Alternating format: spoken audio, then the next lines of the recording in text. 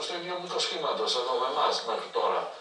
Το πιστοποιητικό εμβολιασμό, εμβολιασμός να είναι απαραίτητη προπόθεση για εσά για να μπορείτε να δουλέψετε.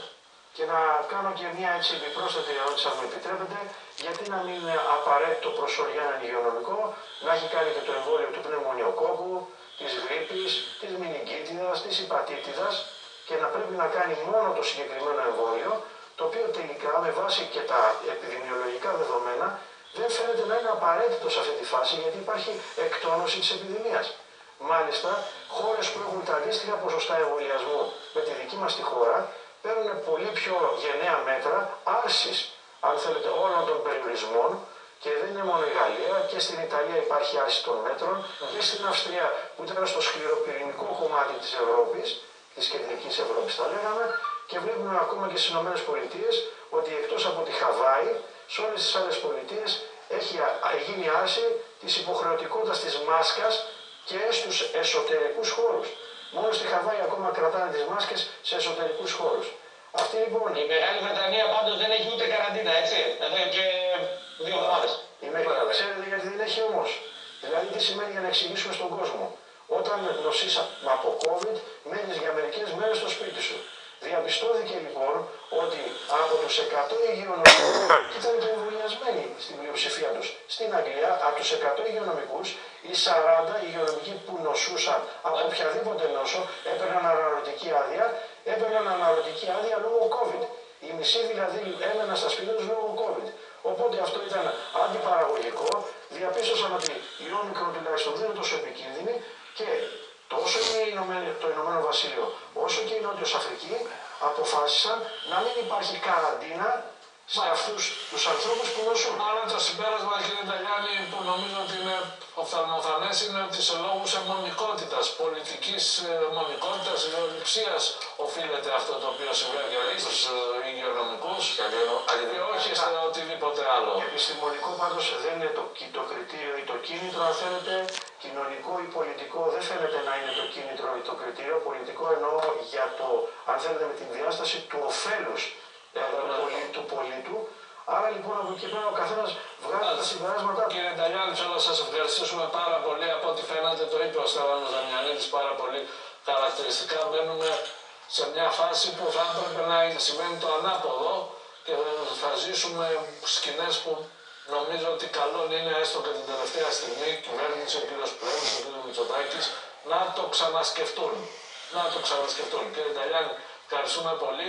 Πάμε τώρα στον χρόνο που έχουμε στη διάθεσή μας, γιατί είπαμε ότι θα επανέλθουμε Αρεσπίνο και Γιώργο Βλάχο και Στέφανε Δαμιανίδη, να δούμε το βίντεο το κουμέντο, διότι το κουμέντο καθίσταται, γελάει ο Στέφανος, το τι έλεγε ο κ. Μητσοτάκης για τον, τα συμβούλια πολιτικών αρχηγών. Και τώρα του λέει ότι εγώ δεν πιστεύω ποτέ στα συμβούλια. Πάμε. Δεν πιστεύω στα συμβούλια πολιτικών αρχηγών. Προσωπικά δεν έχω συγκαλέσει κανέναν, δεν θεωρώ ότι προσφέρουν κάτι. Συζήτησα το θέμα σήμερα με τον πρόεδρο της Δημοκρατίας. Είναι απολύτως αναγκαίο να συγκριθεί το Συμβούλιο των Πολιτικών Αρχηγών πριν τη Σύνοδο Κορυφής Ευρώπη-Τουρκία για να έχει χώρα ενιαία εθνική στρατηγική και σχέδιο δράσης πριν τις 6 Μαρτίου. Και εγώ θα συμμετάσχω προφανώς σε οποιαδήποτε σύσκεψη πολιτικών αρχηγών, πόσο μάλλον για ένα μείζον ε, εθνικό ζήτημα είναι στην διακριτική ευκαιρία του Πρωθυπουργού και του Προέδρου να συγκαλέσουν μια τέτοια σύνοδο. Όπως σας είπα, εγώ ε, στο ζήτημα αυτό του Πρωθυπουργού είχα απευθείας ε, ε, επικοινωνία. Τα κόμματα της αντιπολίτευση πρέπει να έχουν ενημέρωση. Σπίνο, είχαμε τη Διάκο Μητσοτάκη προ-πρωθυπουργικής καρέκλας, μάλλον μετά πρωθυπουργική καρέκλα και προ-πρωθυπουργικής καρέκλας. Είναι προφανές ότι ο κάθε ρόλος έχει άλλα λόγια.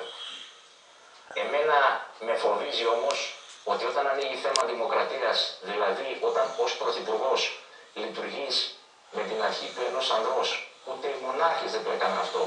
Απαξιώνεις όλο το υπόλοιπο πολιτικό σύστημα. Όλο το άλλο εκλογικό σώμα που εκφράζεται για των πολιτικών αρχηγών του. Τους λες αυτά που θα μου πείτε εντάξει, τι θα είναι σε κλαμάρες, τι να έρθω να σας φωνάξω. Αυτό λέει με λίγα λόγια, με φοβίζει. Δηλαδή, αν αύριο ο κ. Μητσοτάκης έχει μια διαφορετική άποψη για τις εκλογές, τι θα, δεν θα κάνει εκλογές, θα βρει έναν τρόπο να μην τις κάνουμε.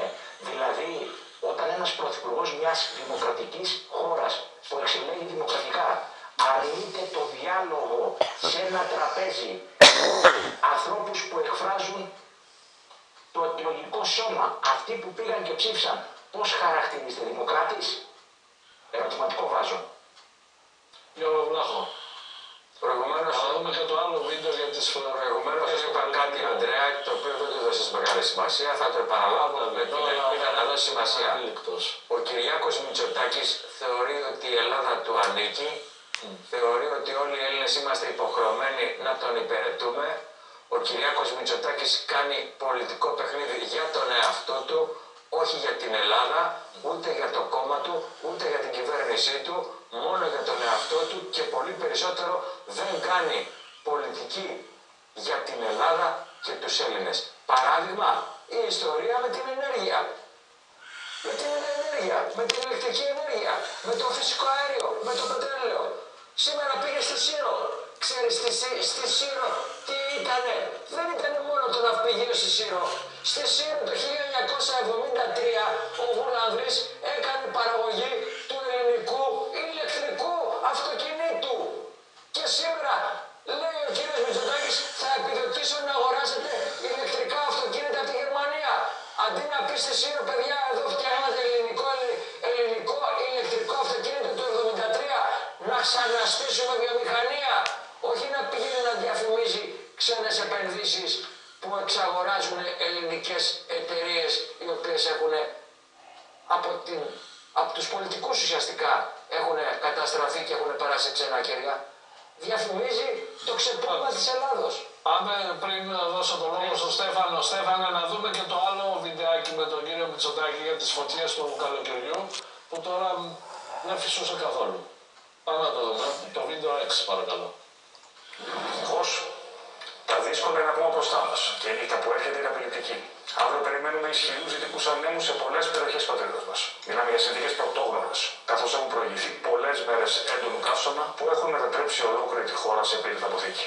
Όταν το καλοκαίρι είχαμε τις καταστροφικές πυρκαγιές και κάναμε μια πάρα πολύ μεγάλη προσπάθεια να κρατήσουμε την ηλεκτροδότηση στην Αθήνα και να μην πέσει η μισή χώρα σε blackout, αντιμετωπίσαμε πράγματι ένα πρόβλημα ως προς τη συνολική δυναμικότητα του συστήματος να ανταποκριθεί. Γιατί; Διότι εκείνη την εποχή, εκείνες τις μέρες, ήταν πολύ μικρή συνεισφορά από ανανεώσιμε πηγές ενέργειας, γιατί πολλοί δεν φυσούσε καθόλου. Γιατί πολλοί δεν φυσούσε καθόλου.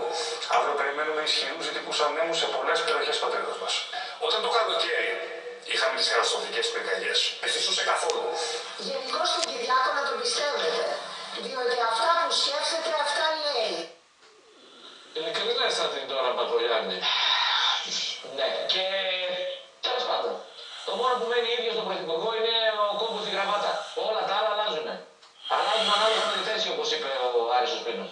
Και μιας και πριν με μαχαίρωσε τρεις φορές την καρδιά ο Γιώργος Βλάχο, είπε τρεις φορές τη λέξη ηλεκτρικό. Γιώργο, να προσέξεις όταν λες αυτή τη λέξη. Διότι έρχονται οι καινούργιοι λογαριασμοί τελευταία και κλαίμε. Παθαίνουμε πολλαπλά εγκεφαλικά. Έρχονται οι λογαριασμοί και πληρώνουμε αρνητικό το ρεύμα στην Ελλάδα και πληρώνουμε αυτό το τη ρήτρα αναπροσαρμογής η οποία είναι αντικειμενογήτως υψηλή και τα νοικοκυριά δεν μπορούν να τα απεξέλθουμε. Σας έδωσε όμω, μας έδωσε και σε αυτό ο Στέφανε τη λύση ο κ. Μητσοτάκης.